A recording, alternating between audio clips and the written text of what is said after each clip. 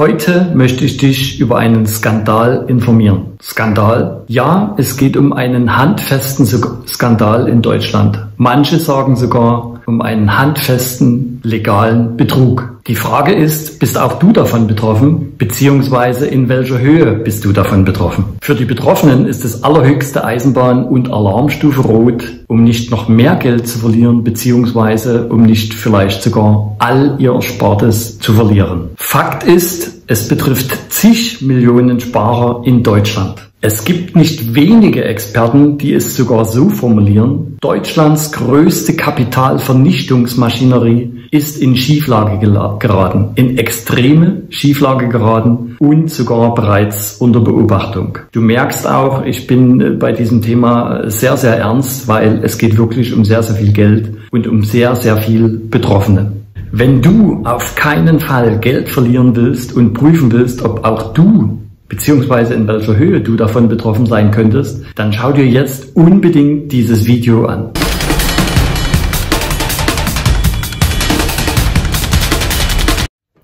Hallo und herzlich willkommen bei Geld krisensicher anlegen. Mein Name ist Carsten Kublitz und du erfährst heute in diesem kurzen Video ZDF, das heißt Zahlen, Daten, Fakten, ob und in welcher Höhe du mit deinen Geldanlagen betroffen bist bei diesem Skandal, der jetzt derzeit in Deutschland abläuft. Du bekommst jetzt hier Informationen, um für dich eine fundierte Entscheidung treffen zu können, um dein Geld doch noch zu retten. Und wenn du willst, kannst du dich auch hier unter diesem Video eintragen beziehungsweise sogar schon anmelden für das Online-Training Geld krisensicher anlegen, der Turbo für deine Geldanlage. In diesem Online-Training geht es darum, moderne und krisensichere Alternativen kennenzulernen. Du kannst aber auch gerne mit mir sofort in Kontakt treten. Meine Telefonnummer ist 0172 351 4631 oder aber meine E-Mail-Adresse, schreib mir einfach eine E-Mail info at carstenkoblitz.com info at carstenkoblitz.com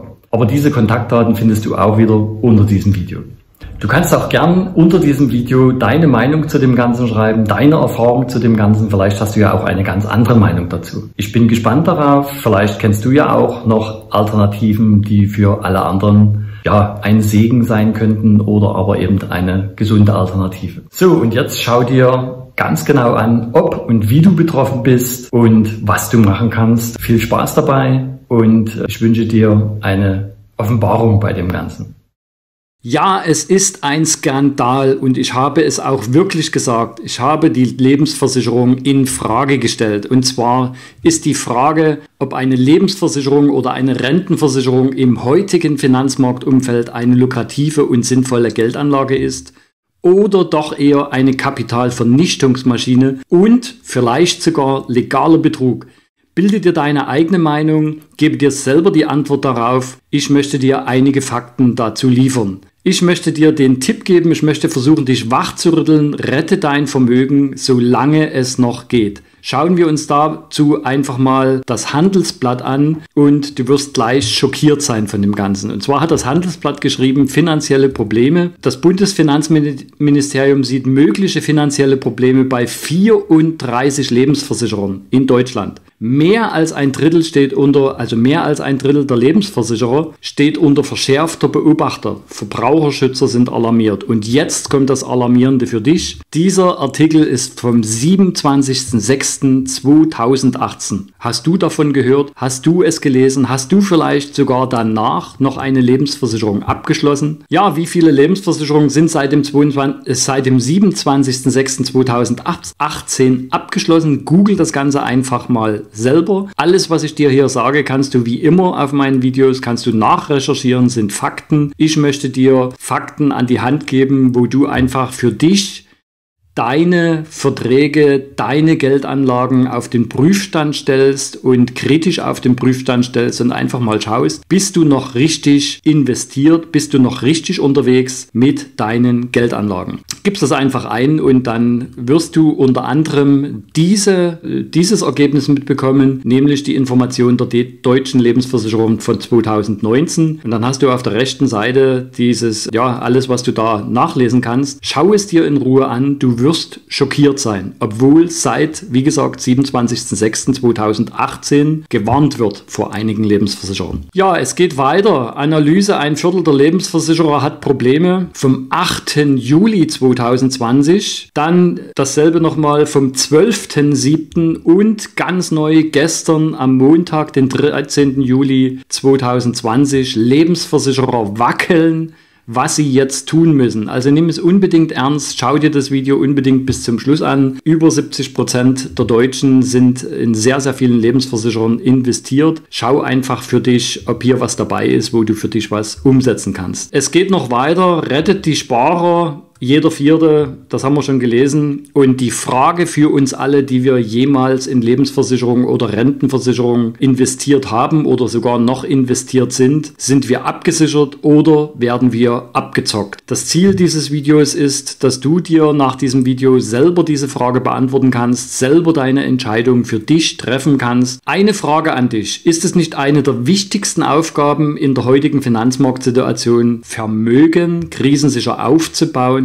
und dieses auch dauerhaft und krisensicher gegen Kaufkraftverlust, gegen Inflation und so weiter zu schützen. Mal ganz ehrlich, glaubst du, deine Familie und du verdienen das nicht auch? Dann kommen wir nochmal auf das Thema Lebensversicherung. Ich bin mir ziemlich sicher, dass du auch eine hast. Die Wahrscheinlichkeit ist sehr hoch, weil es gibt da sehr, sehr viele Policen auf dem Markt. Falls du eine hast oder falls du jemanden kennst, der eine hast, dann frag ihn doch ganz einfach mal, ob er schon mal was vom Paragraph 314 des Versicherungsaufsichtsgesetzes gehört hat. Früher war er bekannt unter dem Paragraph 89. Das ist der Punkt, ja, den ich als Vermittler, ich bin seit 1990 im Markt, mir hat keiner meiner Anbieter, meiner Versicherungspartner in der Vergangenheit gesagt oder hat mich auf diesen Paragraph hingewiesen. Und ich behaupte, dass ein Großteil der Makler, der Versicherungsberater auch diesen Paragraph nicht kennen, sonst würden sie ihren Kunden zumindest heutzutage anders beraten. Ich möchte jetzt nicht so intensiv darauf eingehen, das mache ich in anderen Videos, was hier der Hintergrund dieses Paragraphen ist. Auf jeden Fall geht es um das Thema Zahlungsverbot, wenn eine Versicherung in Schieflage bekommt. Sie können Leistung herabsetzen und der Hammer an dem Ganzen, du musst trotzdem deine Beiträge weiterzahlen. Google bitte selber, informiere dich selber dazu und du wirst überrascht sein. Ganz großer Tipp,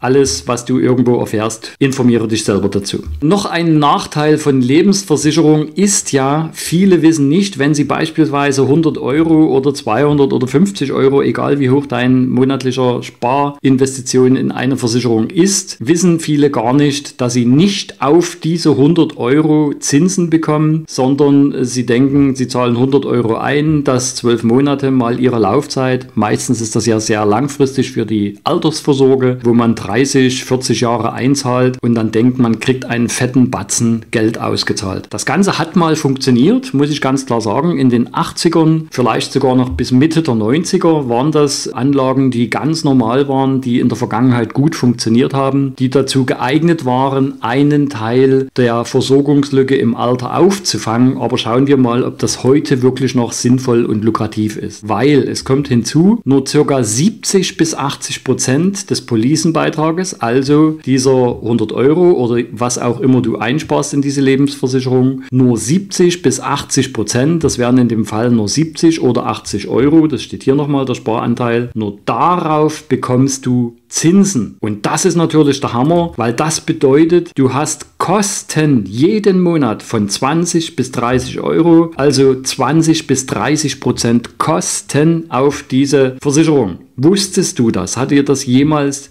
jem, irgendjemand gesagt? Hast du das für dich geprüft? Prüfe es bitte nach, ob das so ist. Schau einfach mal nach, wie lange hast du schon investiert, wie viel hast du einbezahlt und was bekommst du jedes Jahr von der Versicherung ausgeliefert an Rückkaufswert? Was wäre jetzt drin? Und dann stell dir ganz kritisch die Frage, ist das Ding wirklich noch sinnvoll oder eben nicht? Wichtig ist, dass du ab sofort weißt, das, was du einzahlst, das ist nicht der Betrag, wo du Zinsen und Rendite darauf bekommst, sondern nur 70 70 bis 80 Prozent sind Sparanteil, je nachdem, welche Versicherung du hast. Wenn du eine einigermaßen gute hast, also eine, die heute noch nicht äh, im, im, in der Überprüfung bist, ist, dann hast du 80 Prozent Sparanteil. Wenn du bei der, einer der weniger guten bist, dann hast du eben nur 70 Prozent. Sparanteil. Schauen wir uns die Verzinsung an. Ich sagte gerade, in den 80er, 90ern, da war das alles noch okay. Da gab es auch noch Zinsen ordentlich zwischen 6 und 8 Prozent. War damals sehr lukrativ, aber dann ging das eben rapide abwärts, das Ganze mit dem Zinssatz. Und heute sind wir noch weiter drunter. Die Frage ist auch, wo sollen die Zinsen herkommen? Wenn du von diesen Zinsen noch die Inflation abziehst, egal ob du jetzt sagst 3 Prozent oder 4 Prozent, weißt du, dass du und, äh, und die, die offizielle Inflation ist ja 1,5 Prozent Prozent. Viele sagen, die tatsächliche ist 3 Prozent, manche sagen sogar 6 Prozent. Jetzt ziel mal von diesem Zinssatz nochmal 3 Prozent oder 6 Prozent ab von deinem mickrigen Sparanteil sowieso, dann weißt du, was am Ende bei rauskommt. Die Frage ist, wie sollen die Lebensversicherer beim derzeitigen, beim derzeitigen Finanzmarktumfeld auch nur ansatzweise das Leistungsversprechen, welches sie dir als Kunden gegeben haben, einhalten? Und vergiss bitte nicht das Thema Inflation dabei. Ja, warum gehe ich so intensiv darauf ein? Warum war es mir wichtig, dieses Video äh, schnell zu drehen? Weil die Deutschen, du siehst es hier, das ist das Geldvermögen privater Haushalte im Jahre 2018 und von diesen 6,2 Billionen Euro stecken 1900 107 Milliarden Euro in Lebensversicherung und in Rentenversicherung. Deswegen, also es betrifft nahezu jeden Haushalt. Bitte wach auf und mach was. Was heißt das nämlich übersetzt im Klartext für dich mit einer Lebensversicherung, einer Rentenversicherung oder ähnlichen? Aber das betrifft auch das Thema Sparbuch und Bausparvertrag, aber darum soll es ja heute gar nicht gehen. Befindest du dich im heutigen Finanzmarkt immer im Minus? Ich wiederhole, im Mehr befindest du dich in der heutigen Finanzmarktsituation immer im Minus mit mit solchen Anlagen. Einfach aufgrund der hohen Kosten, die wir uns gerade angeschaut haben, des niedrigen Zinsumfeldes und der Inflation. Das verdau bitte erstmal für dich. Ja, du hast mit so einer Geldanlageform, deswegen in, in Anführungszeichen, ob das überhaupt noch eine Geldanlageform heutzutage bezeichnet werden kann oder nicht doch legaler Betrug ist, du hast damit absolut keine Chance, Vermögen aufzubauen. Werde dir dessen bewusst. Wirklich keine Chance. Hör endlich auf damit, dein Geld zu verbrennen. Beschäftige dich intensiv mit dem Thema Geld, investieren und was dir mehr bringt. Was gibt es für Alternativen und wie kannst du dein Vermögen schützen? Wie kannst du langfristig für dich und deine Liebsten wirklich Vermögen dauerhaft aufbauen? Weil du hast noch ein nächstes Problem. Angenommen, der Euro crasht irgendwann, wo ja über 70 Prozent der Bundesbürger dran glauben, dass irgendwann der Euro zerbricht. Oder aber das aktuelle Finanzsystem sich ändert. Auch das sieht ja so aus. Ich meine, aktuell Corona wir waren vorher schon weltweit, hatten wir Staatsschulden aufgebaut und jetzt durch Corona müssen die Unternehmen, müssen viele noch mehr gestützt und unterstützt werden. Es wird weiterhin Geld gedruckt ohne Ende. Ja, die Frage ist, wie, ja, wie wirkt sich das dauerhaft auf das Finanzsystem und auf deine Geldanlagen aus? Welche Anlagen wären in einer solchen Situation dann bei dir betroffen? Schauen wir uns das mal kurz an. Wir haben schon gesehen, über 73 Prozent der Gelder der deutschen Haushalte sind in diesen Anlagen hier investiert. Heute geht es aber um das Thema Lebensversicherung, Pension Pensionsversicherung und Rentenversicherung. Und all diese Anlagen sind in diesem Fall, wenn der Euro zerbricht oder wenn das aktuelle Finanzsystem sich ändert, ändert heißt verschlechtert, Inflation noch größer wird oder ja, was auch immer, dann hast du mit diesen Anlagen noch einmal, wie sagt man, den schwarzen Peter gezogen und äh, das ist, du hast Verluste ohne Ende. Du kannst es dir heute noch gar nicht vorstellen, was du dort für Verluste haben wirst. Auch hierzu werde ich in Zukunft weitere Videos nochmal mitmachen, nochmal intensiver und tiefer mit drauf eingehen. Stell dir bitte auch mal die Frage, wie machen es die Reichen, die Superreichen, die Wohlhabenden? Investieren die ihren größten Anteil des Geldes in Lebensversicherungen? Ich glaube nicht. Auch nicht in Bausparverträge, in Riester-Renten und in Sparbüchern. Weil das nächste Problem ist ja, kennst du irgendjemanden, der mit Lebensversicherung reich geworden ist? Ja, die Frage ist, wie kannst du in Zukunft Vermögen werthaltig aufbauen und sichern? Wenn du Fragen dazu hast, schau dir meine Videos weiterhin mit an. Melde dich an zu dem Online-Webinar, was ich dafür gemacht habe. Investiere Zeit, informiere dich, weil es gibt Alternativen. Das ist die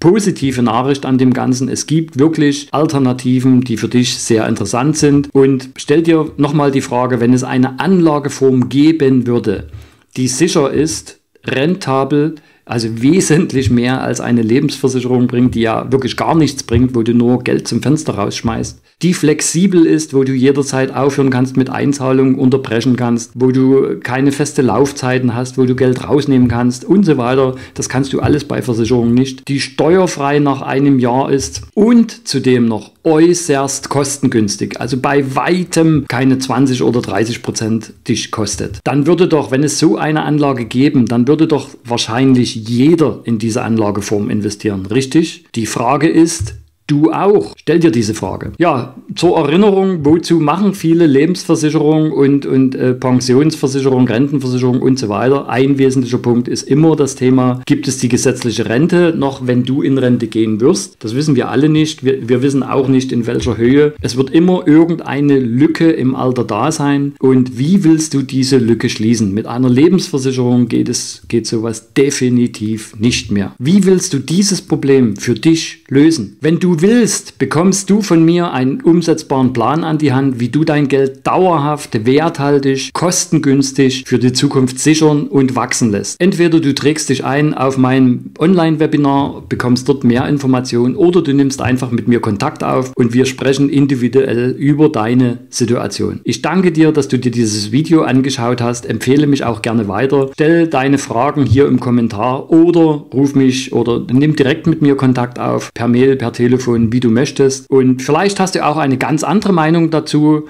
Das ist ja jetzt nur meine Meinung. Vielleicht hast du Argumente, die äh, gegen mich sprechen, die für Lebensversicherung sprechen. Das würde mich auf jeden Fall freuen, wenn du einen Kommentar hinterlässt. Bin gespannt. Wünsche dir weiterhin alles Gute, viel Erfolg und gute Anlage.